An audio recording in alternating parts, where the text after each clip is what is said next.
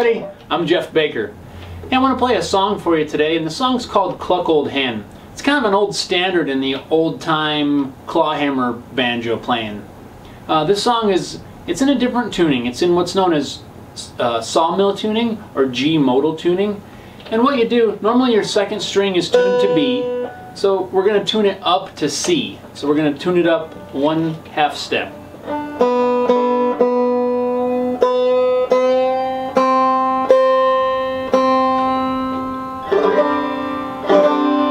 Gives it kind of that cool sound. It's kind of a mysterious kind of. It's just a really cool sound. It's a really fun tuning to play in. So if you have never tried it, I'd suggest trying it. So you just tune to standard tuning, but instead of tuning to B on your second string, tune it up to C. And a lot of your chords don't work the same that way, but it's fun to play around with. So we're going to play Cluck Old Hen.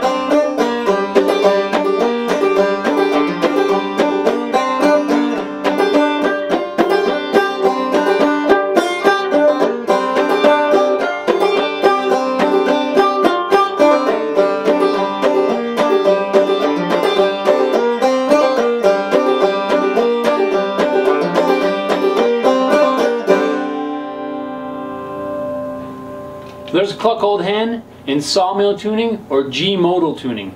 Try it out.